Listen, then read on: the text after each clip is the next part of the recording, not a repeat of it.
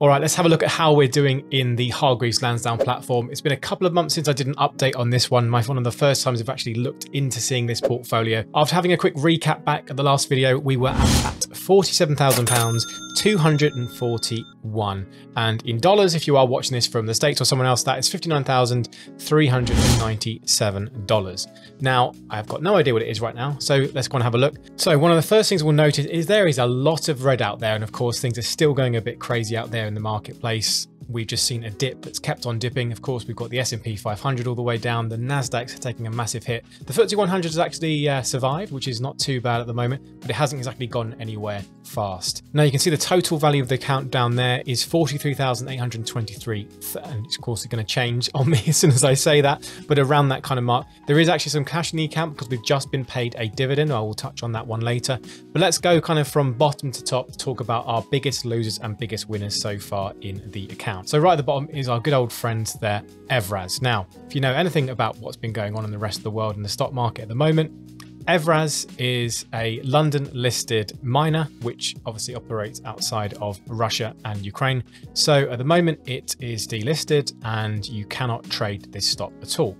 So the last value in the account is what it was last traded at, but there's no trades going on at the moment. Now, the majority shareholder was, of course, Roman Abramovich.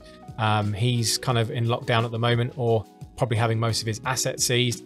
Who knows what's going to happen with his company? I think at this point, we've just got to take this as a big L because I really can't see this one now coming back. It's a real shame actually because the company was going to pay out some healthy dividends and there was a demerger that was happening at the same time, which would have also given me quite a bit of healthy profit here. Because back when this was actually trading at decent levels, my yield on cost, I actually got it for a really good price and I was getting huge amounts of dividends from from this uh, stock itself. So now that's not taken place. Ultimately, there is just a lesson that anything can happen in the stock market. So I'm glad I didn't have all of my eggs in one basket.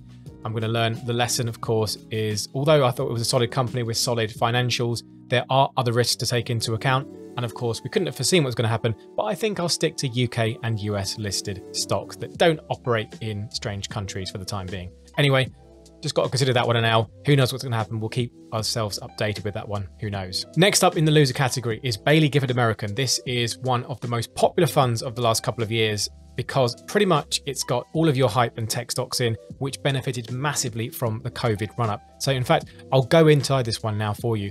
I'm down 45% on this fund. I actually dollar cost averaged into this fund. So let's have a look at the performance section of the fund. You can see it's had an amazing few years. Very similar, I would say, to Cathie Wood's ARK fund.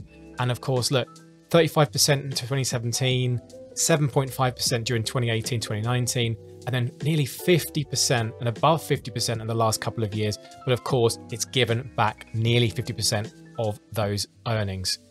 It is a fund that costs you a bit of money. You can see the charges here of 0.31%. But more important, if we just scroll down, you can see what the top 10 holdings are.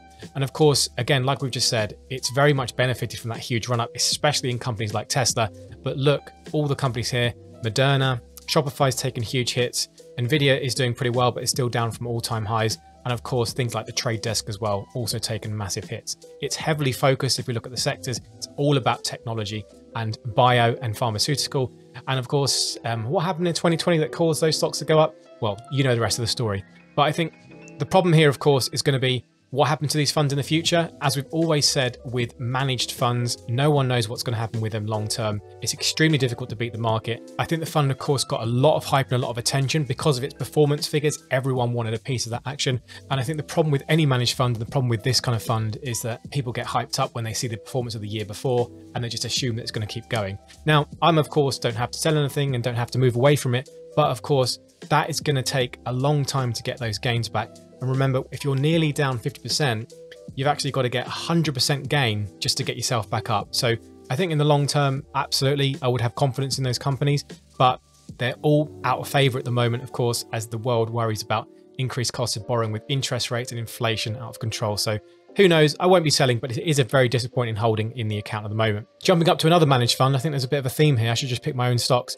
The Global Clean Energy Fund, that's had a huge um, roller coaster ride. You can see it's down 18% in the account at the moment. I think at one point that was more than 40% down. This, of course, if we dive into it, is just a collection of different clean energy companies and companies that generate their electricity or operating in that space as well. So you will see companies, I think like Enphase and ChargePoint, if I'm not mistaken, let's go and have a look here.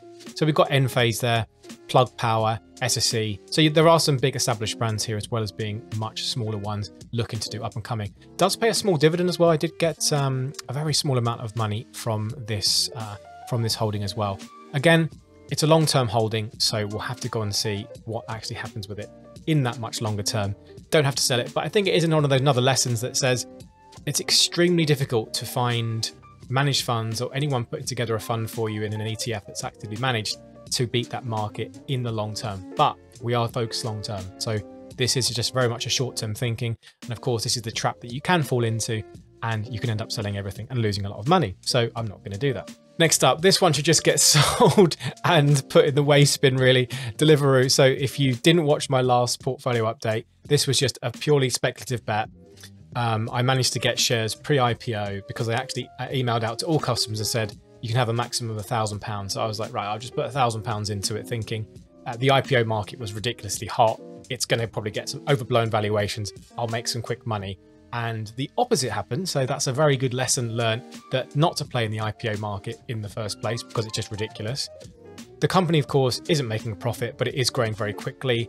Yes, we know that fast last mile delivery of convenience goods and foods is going to be the future. It costs a lot of money to run these companies and they burn through a hell of a lot. And you will see probably on your local high streets or up and down your um, local takeaways all of the different brands popping up now as well. So it's a hugely competitive space and a very interesting one. But is it going to deliver shareholder value? I don't know. I think for now, though, I'll keep it on the list as a company that just reminds me of my stupidity and to not do that again. If I sold, I could put this into probably anything and get better returns because, again, remember what we said, because it's down 76%, I would have to kind of triple my money just to get back to level. So that's not a good position to be in. Don't worry, we're nearly at the winning one. So Unilever's had an interesting one, of course. You'll know this big old beast of a consumer goods company producing lots of different brands and household goods that you probably have in your house, in your kitchen, in your bathroom at the moment. Now, they saw a big rise in their price rise this week and the share price it was a 9% jump if i'm not mistaken um, and that news was because the billionaire investor, Mr. Nelson Peltz, has now joined the board. And if you don't know much about Nelson, I didn't in the first place, so I had to do my own little research in the background of him. He actually owns 1.5% of Unilever through his active hedge fund, Trian Fund Management. And his maneuver does suggest that the company will be looking to potentially break up some of its different business units. And there has been a huge amount of pressure on this company to actually just do something because over the past five years, and certainly over the past couple of years, it's not really had any benefit, any share price gain from the bull market that we've been through. So shareholders are thinking, okay, what's going on here? Where's our money? All these brands they sell. Um, so that share price rise reflects the fact that Nelson Peltz is highly likely to put pressure on the company to make those changes. And he's also on the compensation committee as well, in terms of making sure that the CEO and senior people get paid aligning to kind of shareholder goals as well. Oh, also, in random fact, his daughter married Brooklyn Beckham. So Peltz, that obviously all links together. This is definitely a long-term hold. I'm disappointed, like a lot of shareholders in Unilever, that hasn't necessarily done anything. Um, even if it had a, a small gain over the past couple of years, that would have been quite nice. Yes, it is a dividend payer. If we go in here and check the latest um, dividend yield on the account, I think it's um, it's around four or five percent. Here we are, 3.87 percent. So it's nothing substantial, but if it grow that dividend and keep that dividend while also growing kind of at the rate of inflation, that would be quite a nice return and a nice solid company to balance out your portfolio. And now let's look at some of the companies that are actually in the green or in the blue, as you can see on the Hargreaves Lansdown screen. Apple up at 30%, which is doing quite nicely. The company just on an unstoppable rise. Seemingly everyone needs new Apple stuff. The ecosystem is just kind of unbeatable as I record this on my MacBook with my iPhone in front of me and an iPad and half a dozen or so other Apple devices in this uh, in this house alone. We know the company makes a hell of a lot of money. It's all going to be the question, though, really, is can the company continue to grow and continue to expand its cash basis and continue generating free cash flow more than the market? And I think once the companies get really, really big, that's always my concern is that can it outgrow, at least outgrow its share price better than the rest of the market? And would my money be better off just in an index fund? And that is always a question you've got to balance up with some of these stocks, but nice results nonetheless. Now, jumping up more into the tech world, AMD, um, phenomenal company, of course, who makes graphics chips, processors, and all the other different devices like ASICs as well. Um, this company, of course, has seen a huge run up over the past few years, has a huge benefit as well from the mining craze, but also the fact that their chips and their Ryzen processors and EPYC processors are phenomenal tools for both consumers and businesses. I run an AMD chip myself in my system, and I know, of course, over the years, they've always been battling Intel for that top spot. And at the moment, I think it's safe to say that they are smashing Intel to pieces with their architecture and with their technology. They did announce some strong results last month. Their revenue was up 71% for the year. Gross margins were 48%. Now, they were slightly down in their operating margins, but they were much more well insulated than NVIDIA was, and I'll touch on them in a moment. But I am pleased about AMD, and I think they're going to continue to grow massively in this space. Legal & General, you can see, continues to tick along nicely. They're the one who's just paid a nice little dividend to me. I think that was um, several hundred pounds in the account they've just paid. So I do have that cash there. Some great results there from Legal & General. If you can find a company that can pay you a dividend and also grow at 30%, at least in terms of share price, then you're onto a winner and it's a good company to hold in my opinion. Now, some of the big boys, of course, Nvidia, third place, up 40%. Now, if I remind myself from the last update, they have still taken a bit of a fall. They were up 70%.